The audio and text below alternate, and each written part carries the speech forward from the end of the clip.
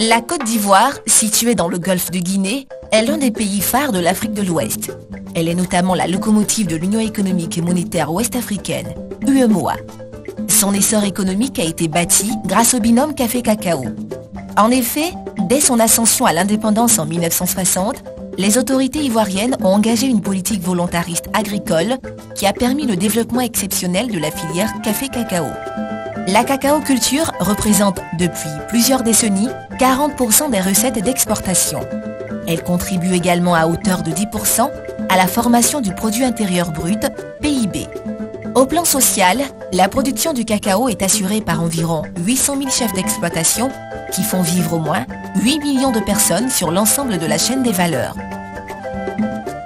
Malgré les difficultés liées à la crise sociopolitique qu'a connue la Côte d'Ivoire depuis 2002, la production nationale de cacao a été maintenue à la hausse.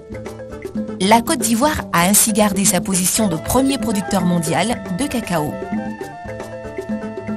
La production caféière a été également une des principales ressources d'exportation de l'économie ivoirienne. Toutefois, sous les effets conjugués de la faiblesse des cours mondiaux, des contraintes techniques, de la concurrence de nouvelles cultures telles que le palmier à huile et l'EVA, ainsi que la crise sociopolitique de 2002 à 2011, la production de café qui avait atteint des niveaux records de 420 000 tonnes il y a 15 ans a chuté pour ressortir à environ 90 000 tonnes en 2011.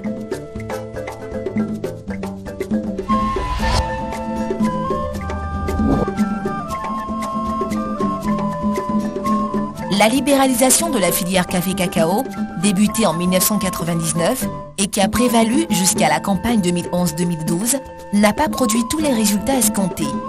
Au cours de cette période, le mécanisme de commercialisation mis en œuvre n'a pas permis de garantir un revenu minimum aux producteurs.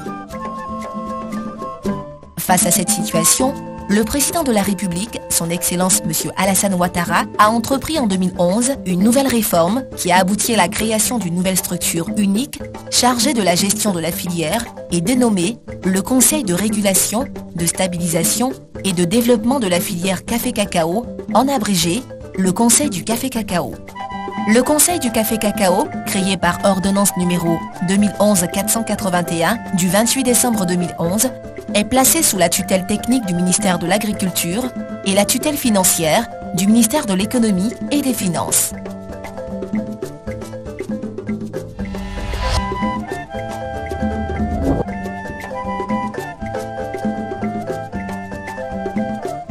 La nouvelle réforme s'articule principalement autour de la mise en place d'un mécanisme basé sur la vente anticipée de la production et sur la stabilisation des prix d'achat aux producteurs de café et de cacao.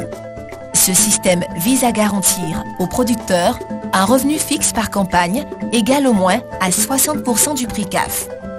Les principales missions confiées au Conseil du café cacao pour assurer une gestion efficiente et un développement durable de l'économie cacaoyère et caféière ivoirienne sont, au titre de la commercialisation et de la régulation, la détermination d'un prix borchant garanti aux producteurs et l'organisation des opérations de commercialisation à travers un système de vente anticipée permettant de tirer avantage des hausses éventuelles du marché.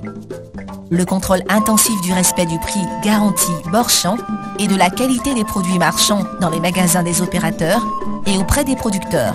Le contrôle systématique de la qualité et du poids à l'entrée des usines de conditionnement le suivi et le contrôle des activités des opérateurs et l'encadrement des producteurs, la modernisation de la collecte et du traitement des informations statistiques.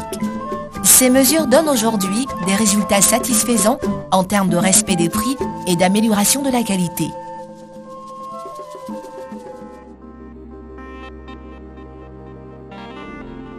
Au titre du développement, le Conseil du café cacao prend toutes les mesures pour assurer l'amélioration de la productivité et de la qualité des produits par la mise en œuvre du programme 2QC, quantité, qualité, croissance, dont certains des axes principaux sont la formation des producteurs sur les bonnes pratiques de la production durable, la lutte contre le swell and shoot et autres maladies du verger, la lutte contre les pires formes de travail des enfants, la relance de la production caféière, l'élaboration de technologies innovantes de mise à disposition de semences améliorées et d'intrants, l'amélioration du cadre et des conditions de vie des producteurs par la mise en œuvre d'un programme de réalisation d'infrastructures socio-économiques de base dans les zones de production financé par le Fonds d'investissement en milieu rural FIMR. Les réalisations de ce programme se traduisent par le reprofilage et l'entretien de pistes de desserte agricoles, la construction, la réhabilitation et l'équipement de centres de santé ruraux, d'écoles, de l'hydraulique villageoise, etc. La coordination, le suivi évaluation des activités et la gestion des partenariats au travers de la plateforme de partenariat public-privé PPPP. La plateforme apparaît comme une approche sûre pour mieux coordonner les initiatives et actions sur le terrain et combler le déficit de financement des projets de développement de la filière café-cacao en préservant les intérêts mutuels des parties prenantes. L'organisation et la professionnalisation des producteurs, la promotion de la transformation industrielle et de la consommation nationale et internationale.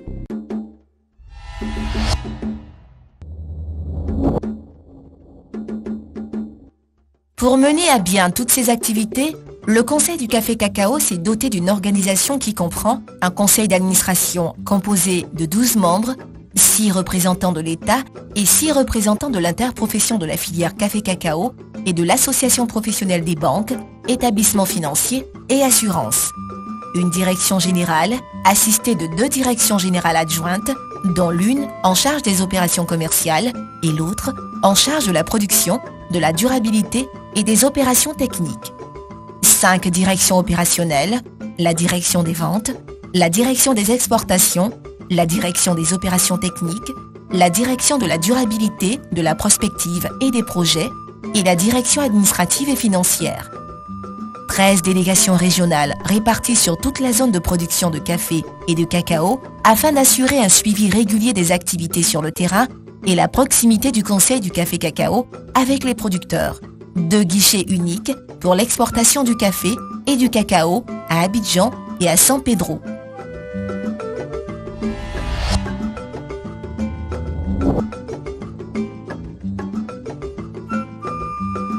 C'est une nouvelle ère qui s'ouvre avec le Conseil du café cacao dans la riche histoire du binôme café-cacao en Côte d'Ivoire, celle du professionnalisme, de la transparence, de la bonne gouvernance et d'une politique avisée pour la pérennisation de ces produits qui restent des piliers essentiels au développement du pays. L'amélioration des conditions de vie des acteurs, principalement celles des producteurs et de leurs familles, l'essor d'une agro-industrie nationale et le développement d'une économie caféière et cacaoyère durable constituent les défis majeurs auxquels le Conseil du café cacao veut apporter des solutions appropriées à travers cette nouvelle réforme.